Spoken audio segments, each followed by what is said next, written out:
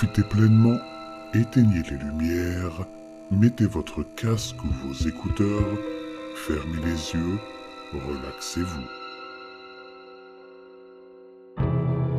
Le jeu du pendu, seconde partie.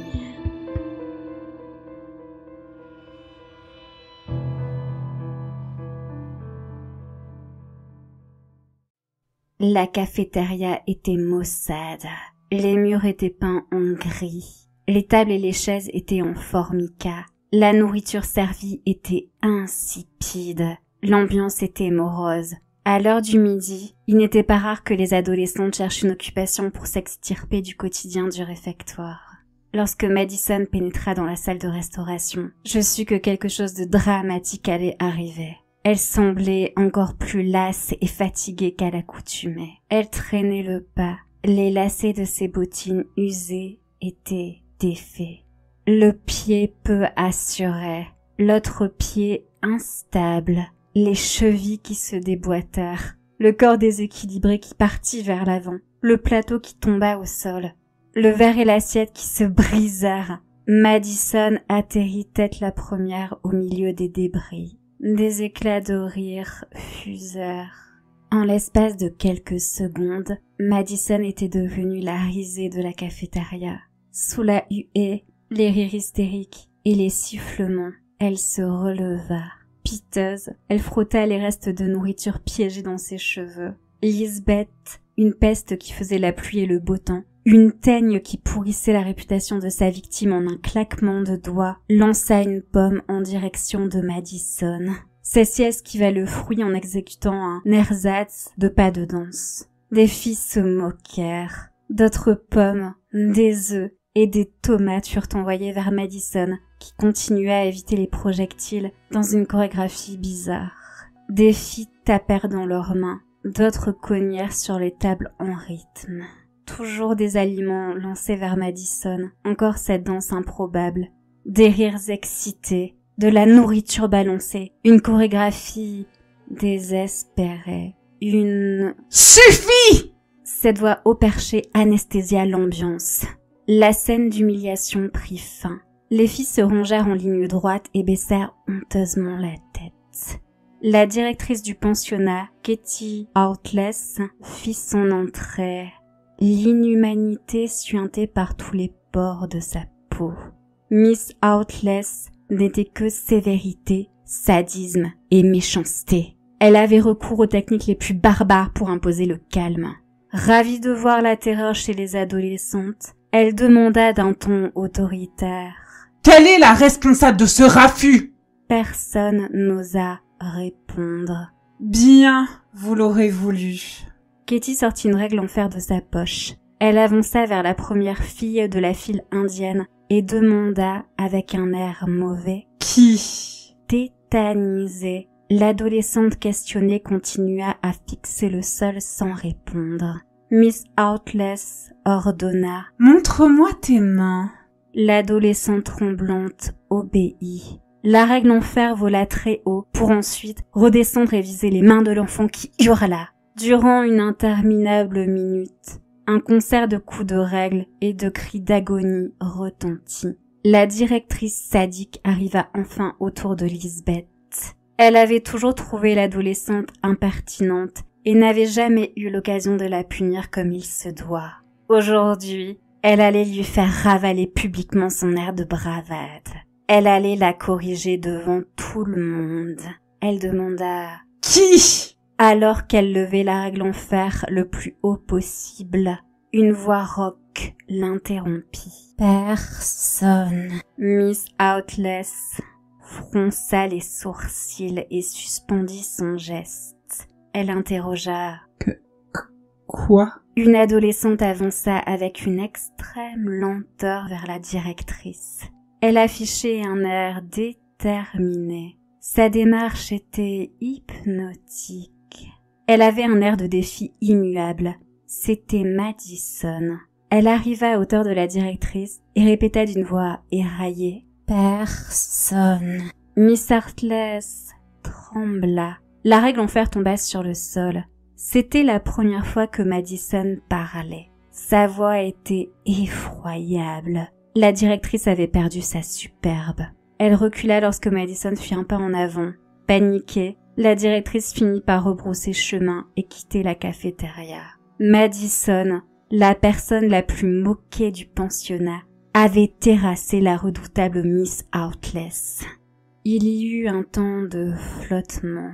Enfin, Lisbeth se rapprocha de Madison. Cette vieille fois cherche la moindre occasion pour me tomber dessus. Tu aurais pu me balancer pour te venger, mais tu n'as rien fait. J'apprécie.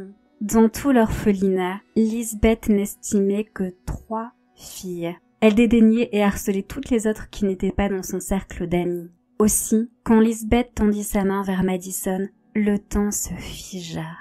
Lisbeth offrit à Madison un sourire sincère. Mielleuse, elle demanda Alors, Maddy, amie Des ados frissonnèrent, d'autres arrêtèrent carrément de respirer. Madison pencha la tête sur le côté pour juger la proposition. Autour d'elle, le silence régnait en maître. Lentement, elle saisit la main tendue et répondit Amie. Le pacte avec le diable était passé. L'amitié naissante entre Lisbeth et Madison fut l'événement le plus étrange qu'il m'eût été donné de voir. La nouvelle relation était indestructible. Le duo était inséparable. Les deux êtres étaient devenus des chimères. Par un coup du sort, les jeunes filles se vouaient une admiration mutuelle sans borne. Un observateur naïf verrait là un bien heureux retournement de situation. Mais ce revirement était tout bonnement flippant. Lisbeth se fondit en Madison. Elle ne s'exprimait que quand Maddy le lui permettait, en la paraphrasant la plupart du temps. Elle copiait toute sa gestuelle. Elle était trop serviable à la limite de l'asservissement. Elle se coiffa et se vêtit comme Maddy, qu'elle avait pourtant toujours considérée comme une pauvrette. Son apparence devint miteuse. Quant à son teint, il devint maladif. Des cernes prononcées envahirent son visage. Elle devint un squelette à la démarche aussi fantomatique que son acolyte. Le clou de l'horreur fut enfoncé quand elle prit systématiquement la défense de Maddy. Elle perdit ses anciennes amies, allant jusqu'à se les mettre à dos. Pire que l'ombre d'elle-même, Lisbeth devint l'ombre de Madison.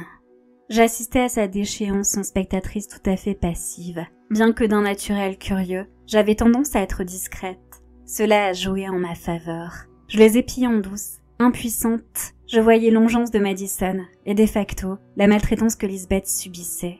Une après-midi, j'eus un mauvais pressentiment et m'assis derrière elle en cours. Alors que je lisais la nouvelle Alice dans la clinique aux merveilles, je vis Madison se pencher vers Lisbeth.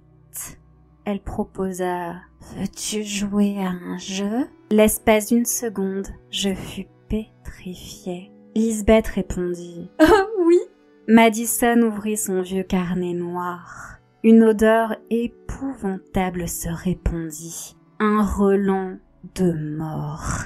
Elle chercha une page où le papier ne s'effritait pas. Puis elle esquissa avec grande aisance une potence et sept traits. Une angoisse mettrait en son sein. C'était le jeu du pendu. Mes parents y avaient-ils joué? Lisbeth avala péniblement sa salive. Madison exigea une lettre. Lisbeth respirait de plus en plus difficilement, pourtant elle jouait le jeu. Elle? Madison griffonna, avec une voix de plus en plus faiblarde. Lisbeth tenta plusieurs autres lettres. Et Et I? ensuite N? après O? pour finir par N? C'était sa dernière chance et elle avait perdu. Madison donna le dernier coup de crayon pour prononcer sa sentence. Sur une feuille de son étrange cahier noir, Madison avait reproduit une pendue. Un portrait saisissant de réalisme. La glaçante artiste se pencha d'orchet vers sa camarade et révéla d'une voix grinçante. Tu as perdu. Le mot était cadavre. Lisbeth sursauta. Elle se leva d'un coup sec. La chaise valsa sur le sol. Le boucan insupportable alerta à Miss Outless qui donnait cours. Elle allait sermonner l'imprudente, mais quand elle croisa le regard de Madison, elle bégaya piteusement et revint à la leçon. la fin de journée revêtit un air de normalité. Lisbeth suivait aveuglément Madison. Quant à moi, j'étais perdue en plein cauchemar. À la tombée du jour, un bruit de couloir se répandit. Comme une brume angoissante, le prénom de Lisbeth fut tellement prononcé qu'il devint comme une entité évanescente. Ses anciennes amies dissertèrent sur l'éventualité de la chercher. Je compris qu'elle avait vraiment disparu. Tout comme j'assimilais le fait que personne ne voulait vraiment partir en expédition pour la trouver. Les gardiens étaient en faction derrière les portes de chaque chambre. Sortir en douce était impossible et relever de la pure folie. Les cellules d'isolement étaient un calvaire sans fin. Les ténèbres de la nuit furent propices au pire scénario catastrophe. Pourtant, personne ne chercha Lisbeth. À l'aube, un cri glaçant tira toutes les pensionnaires du lit. Certaines s'habillèrent à la hâte. D'autres sortirent en chemise de nuit. À l'extérieur, un vaste brouillard conférait une atmosphère lugubre. Au fond de la cour, une foule grossissait.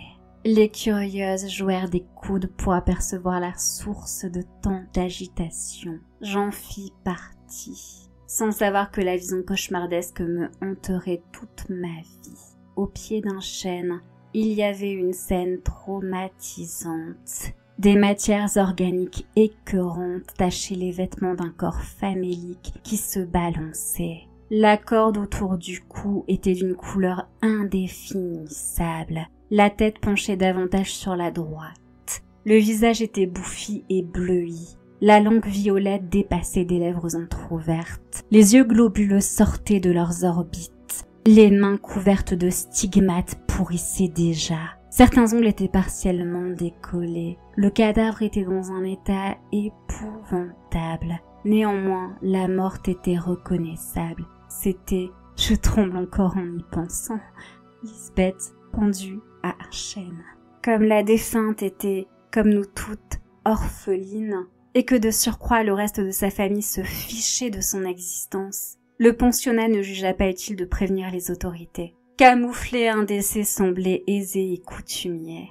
Dans cette histoire, nul ne s'enquit de la disparition de Madison demeurée introuvable, elle se morfa en croque-mitaine afin d'effrayer les nouvelles venues. Elle devint une légende urbaine dont on se mit à douter de l'existence. Plusieurs mois après, Madison me hantait toujours.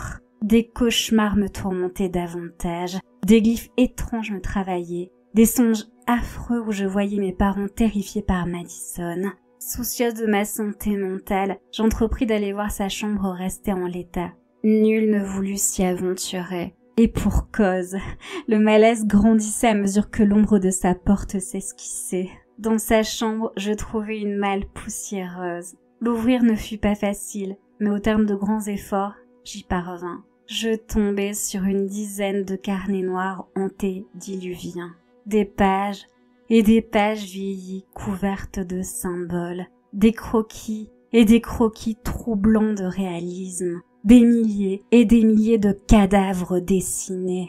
Je cherchais sans relâche le portrait de mes parents, en vain. À mesure que je pris connaissance de ces jeux du pendu démoniaque, mon corps se couvrit de frissons indescriptibles. Je fus persuadée d'une présence familière. Encore aujourd'hui, je suis convaincue d'avoir entendu une voix basse qui demandait Veux-tu jouer à un jeu? Épouvantée, J'enterrai tous les obscurs carnets. Nul ne revit Madison. Le mystère de son existence s'opacifia au fil des années.